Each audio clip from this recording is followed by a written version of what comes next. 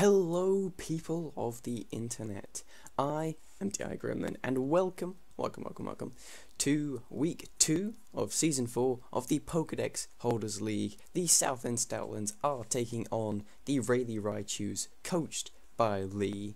I'm D.I. Gremlin, proud coach, proud coach of the Southend Stoutlands. And um, last week we got off to we got off to a flyer, you know, one and zero. Uh, if not for the the crit on the Florges, probably would have been a 6-0 and we'd be number one in the league right now, but we are we're joint second right now, and we're taking on Lee, who he he took an unfortunate loss week one, and it was unfortunate because he really really should have won that battle. Um, not through hacks, like there was a misclick, turn one, and I don't know if the I don't know if turn two was a misclick as well, but um, you know that he made some misplays in that match, and he really could have taken it. And and I know he, he feels like he's lost this match already, but man, it's it's a scary one. So we've got to we got to make sure we win this, um, because you know we, we we can't lose this match. He will never let me live it down. So let's run through his team really quickly because his team is scary as shit. Um, he's got the Necrozma, um, which is just a super duper bulky son of a bitch. Like, it has better than base 100 across the board defenses and an ability that weakens the power of super effective moves. So that's going to be really fun to take down. He's got the Raikou, fast electric type with a little bit of bulk to it, you know, can set up Calm Minds, fires off those big bad boy powerful volt switches. Uh, that's going to be that's going to be annoying to deal with. Suicune. Suicune is just a bulky, bulky son of a bitch, and he loves his Suicune. Um, it just it just sits there, it rests, it can roar, it can calm mind, it just picks up all the scald burns. That is going to be a pain in the ass to deal with if my counter to it goes down. Um, as you can see, I've, I've kind of prepped for that. And then then things get scary because Lee is a man who likes his offense and he just drafted a team of just straight wall breakers. And it's kind of terrifying. So let, let's let's run through some of these wall breakers. He's got the Kyurem, um, which has base 130 attack and 130 special attack. I mean, just are there even any switch-ins? Just not really. No. it's like a choice specs Kyurem. It just it just body rocks me. But even then, like he could run. It's like oh dude, it's a dragon type. Um, probably going to be specially offensive. Just use your Florges, but then it gets Flash Cannon and Iron Head, and you could just run the Steelium Z, run the Corkscrew Crash, and then I'm just dead. So I can't do that. Um, he's got the Darmanitan, base 140 attack. That Flare Blitz with Sheer Force, it just destroys everything. Like I was gonna run a max HP, max physical defense Donphan with Rocky Helmet to take it on. I was like, oh, that'll be a really good thing to take on Darmanitan. No, no, Flare Blitz 2 it KOs me. So can't do that, which is wonderful. It's got the Tornadus Incarnate, which is another pretty fast mon with base 111 speed, and you know gets all the same coverage as my Tornadus Therian, and actually hits a little bit harder. So that's that's wonderful, you know oh, it's just I don't know. It's it's, it's not good. Uh, he's got he's got the Exploud, two respects Boom Burst, rips through just about every Pokemon ever. It's just a stupid powerful thing. Pangoro. Pangoro hits so goddamn hard, and once again you're like, dude, you could, it's a it's four times weak to fairy, just bring your Florges. But this thing gets the gunk shot. This thing can OHKO my Florges. He shouldn't be able to do that. He's a dark fighting type. Uh, and then his, his hazard removal options are the Togekiss and the Dhelmise. Um, which, I mean, I don't really anticipate Dhelmise. I don't think it has the best matchup. But you could bring it, like, purely as a rapid spinner. Like, let's say he brings all of his weak to rocks mons, then I guess you might want to bring it. I don't know. I don't anticipate it. It's still a good mon. It gets, it gets three stabs, which is just stupid. And then he's got the Togekiss, which is a pretty versatile mon. Could be bulky, could be offensive, could run the Defog, could have Roost, you know. Could be pretty annoying.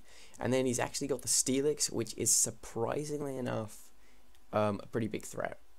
Um, it's basically his only Beedrill switch in and his only Jolteon switch in. Um, and well, that's unfortunate because otherwise those two mons kind of run through and Steelix just completely shuts them down. Um, so, what do I think he's going to bring? I think because of the, he has to bring Steelix, as to whether or not he realizes that and actually brings it is a different matter. But I think he's got to bring the Steelix. Um, he he's got to bring the Suicune. He definitely has to bring Darmanitan and Kyurem, and what at least one of them's got to be Choice Scarfed. I'm I'm predicting Choice Scarf Darmanitan because I think Kyurem needs the power output against my team. Like Scarf Kyurem, it gets the coverage for my team, but then I have things that can stop it. So I would imagine a Life Orb or even Specs Kyurem. Um, so what was that? Steelix, Darm, Suicune, Kyurem. Um, the Raikou, it's it's a definite possibility. I, I could see why he wouldn't bring it. I can see why he would bring it. Um, I think he's going to bring the Tornadus because it's just so freaking good. Um, he, he could bring the Necrozma. I'm not I don't think I personally would bring it if I was him, but he definitely could bring it. Um, a Togekiss could definitely come. Pangoro could come. Oh, it's just a headache. I don't think Dhelmise is going to come, and I don't think Exploud is going to come. But for example, he could go Necrozma and Pangoro and run the Trick Room side to his team, which would be very annoying. And I know, I know that he's actually I know that he knows of that, um, and he, he's threatened to bring it basically, but it's fine. We're prepared for it. Um, my team should be on the screen right about now, and it is you know it's it's Mega Beedrill, Tornadus Therian, Infernape, Florges, Donphan, Jellicent, Jolteon, Zygarde Dogair, Bronzong, Alolan Persian, and who didn't I say? Probably Shaymin. Um, so without further ado, on to the actual team.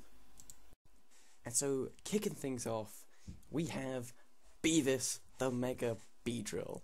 And uh, I forgot to mention in the team builder last week that I didn't bring this thing. I thought it had an okay matchup, but Bray had like two or three things that could actually deal with it. And because I, I knew she'd be terrified of it, and so I knew she'd bring all of them, so I knew that this thing would be pretty much useless. Whereas this week, Lee has literally one response to this thing, and it's his tier 5 Mon Steelix. This Mega Beedrill puts in so much work. U-turn, 2 hit KOs, everything barring the Steelix. Poison Jab OHKOs like half his team. Drill Run still does, it, it's like 30% to a max physically defensive Steelix. Um, and then I I that was really the only three moves that I needed. U-turn for initiative, poison jab if it kills, Drill Run for Steelix. And then I was like, hmm, what do I put for this last move? And I looked at I looked at Defog, I looked at Swords Dance, I looked at Toxic Spikes, and I just I in the end I decided to go with Fell Stinger, which is a really interesting move. It's it's like 50 base power. It's a bug move, but if you kill something with it, you get to plus 3. So let's say I've already worn down the Necrozma from a U-turn before. Fellstinger will easily kill it, and then I'll get to plus 3, and if he doesn't have any Choice Scarfers, I just win with Mega Beedrill, just straight up. Um, and because my team is so goddamn fast, I am able to run the Adamant Nature. I'm running enough speed to outspeed. This is this is kind of weird. I'm running enough speed to outspeed a Choice Scarfer that is trying to just outspeed my Tornadus Therian. Um, I really wanted the Adamant Nature. I thought that was really worth it. I looked at all the calcs; it was definitely worth it. And so I was like, hmm, what what speed do I hit? Because I could have just gone to the Raikou, but I was like, you know, there's a chance maybe he brings a Scarf Exploud, and that can't outspeed Jolteon, so you'd speed creep it to outspeed the Tornadus. So kind of weird, um, but I mean, it was either this or less speed, so I figured we'd just go with this. Up next, we got my boy Wingman. Um, hopefully, he's going to hit the field this week. Um, he's he's up against his, his little brother, but he's he, he knows where his allegiance lies. Still rocking out with the life orb and the regenerator, but um, going with a bit more of a specially oriented set this week. Um, I mean, yeah, I guess last time was 50, last week rather was 50-50.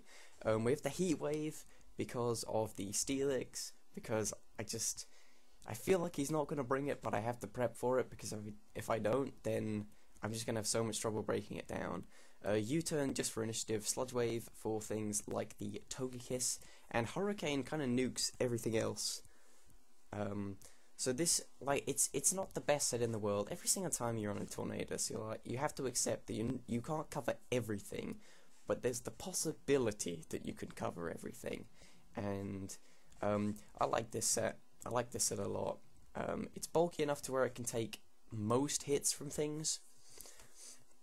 I could run Assault Vest so that I could take a hit from the Raikou, but then I don't hit it back for that much damage. So um, we got enough speed. We got enough speed to outspeed the Raikou. Um, and uh, yeah, pretty pretty self-explanatory set. It's just got the attacking moves that I need. U-turn for initiative. And uh, then then we got my boy Bellend. My boy Bellend is back, and um, he's he's gonna put in work once again this week. Um, rocking out with the lefties and the levitate as there was. I, I could have run the heat proof, but the levitate was more important in case of the Kyurem's earth power because this thing is my Kyurem switch in. Um, and I know that Kyurem gets Shadow Ball, but I feel like that's the least likely move for him to hit. Um, Rocks really hurt his team. Gyro Ball will hit the Kyurem and things like the Togekiss and his other fast ones really, really hard. Toxic is there just for the Necrozma, basically. Like, if, if his walls are in, um, then this thing can't do that much to them. But because you can see I'm bringing my full full volt turn core, I might volt switch or U turn on a wall and then be like, oh, well, I don't know, like, what, what do I go into here? And basically, I go into Bronzong.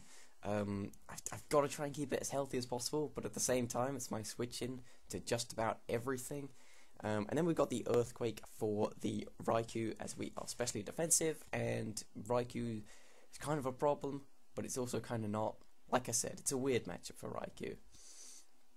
Up next, we got one of the MVPs from last season. My boy Ohm's Law is freaking back and um, I was I was very tossed up about this set. Um, we're rocking the same speed as Beavis is for the same reason.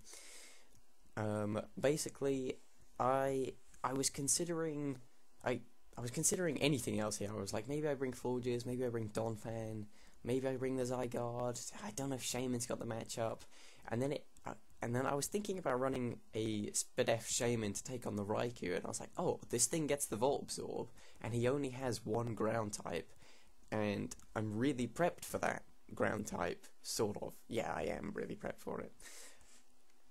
So I don't really mind it. So if he doesn't bring the Steelix, it's just free Volt switches for days. Um, I can switch in on a Suicune, take any hit, and even if he goes for the Calm Mind, I still 2 KO him with Thunderbolt thanks to this choice spexedness. And we have the Shadow Ball for Dhelmise and Hidden Power Ground for the Raikou and the Steelix. And this is a this is a good Pokemon. I think I think Jolteon's going to put in work this week.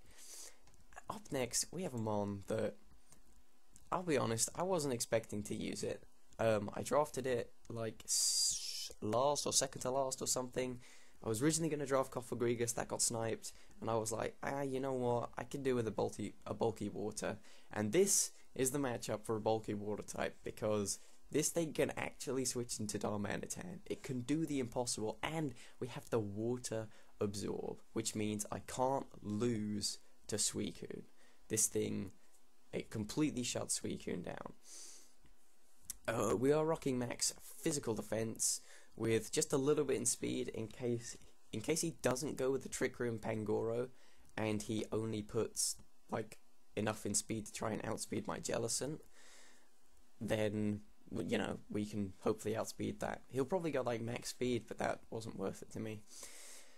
Um, Scald is pretty much going to be our move of choice, but Will-O-Wisp to burn the physical attackers is going to be very, very, very nice, and then we can hex them afterwards for huge damage. Recover, is just so useful. Can really keep my General Melchett healthy. If you if you understand who General Melchett is, shouts to you. And we have the Colbur Berry because um, the Wall Core that I'm bringing this week is both weak to Dark and Ghost, I guess, but, um, hmm. Ooh, ooh, Dhelmise could be a problem. Nah, nah, that's fine. That's fine. We just go into Wingman. Um, and the, so the Colbur is basically for the Pangoro and the knockoff on the Tornadus Incarnate. As Tornadus is kind of a problem, and this thing does also switch into that. I just I have to keep healthy for Darmanitan because Scarf Darmanitan is a goddamn problem. And I was at this stage of the team build, and I was I was somewhat confident, and I was somewhat really nervous. I was like, ah, I've got good offense, I've got I've got okay enough defense. How do I win this match though? Because like he just has to bring a Scarf Darmanitan or a Scarf Kyurem and he just wins. And how do you beat Scarfmons? You bring a faster Scarfmon of your own. Caesar is my saving grace this week. Caesar is my win con if ever there was one. Caesar will outspeed everything barring a Scarfed Raikou, which would make no sense, or a Scarfed Tornadus, which would make a small amount of sense, but then it just doesn't do the damage to my Jellicent or my Jolteon or my um, Bellend or my Tornadus. So I feel like he's got to run a life orb set. He needs the power. Like this thing, this thing does so much work. It basically, it can't OHKO the Necrozma, but I have a Mega Beedrill. I got U-turn on like everything. I've got Toxic, um. Even Jellicent hits Necrozma for super effective damage, so I don't really anticipate that, and I can deal with it. Um, you know, this it destroys the Steelix, it destroys the Dhelmise, it can OHKO both Kyurem and Darmanitan, importantly enough. Um, what's the other important thing? Uh, it can OHKO Pangoro, it can OHKO Exploud. This thing, it just does so much work. If I can whittle down his team with some U-turns and Volt Switches, I can just bring in Caesar every single time and just get a kill. Like, guaranteed. And at that point, it will be, how do I play my sacks, right? It'll be like, I go into Infernape, you know, maybe he's got the Kyurem out, I go for the close combat. But then he brings in Necrozma. So I'm like, okay, I'll switch out, sack something off, and then I can bring in something else, like Mega Beedrill, and destroy it. Um, and then he could beat that with the Scarf Darmanitan. And then I just bring in Caesar, beat that with Earthquake. Like, as long as I have more mons than him, I should win with this Infernape. Um, hopefully, that's the plan. It's gonna be, it's gonna be a really really fast paced game. I feel. I feel like it's just to be punch for punch, um, and whoever has the best offense, I think, will win. And because my offense is faster and I have Volt Turn like crazy, like I said, I'm bringing my fully, I'm bringing my full Volt Turn core. This was the core that I drafted around to try and beat anything and everything, and I'm actually bringing it, and that never happens. So I'm really excited for this match. It's gonna be a good one. I just oh I have to win this. like I know that Lee really feels like he he feels like he's lost his match already, and he feels like he's out of the league already, basically. But um, that's not true, Lee, and you know it. Um, and I, I just, I just, I will never hear the end of it if I lose. So, uh, battle should be up after this, probably, probably like the next day or something. I am going away this weekend camping, so I don't actually know when the battle will be taking place, but I'll figure it out and I'll see you in the battle.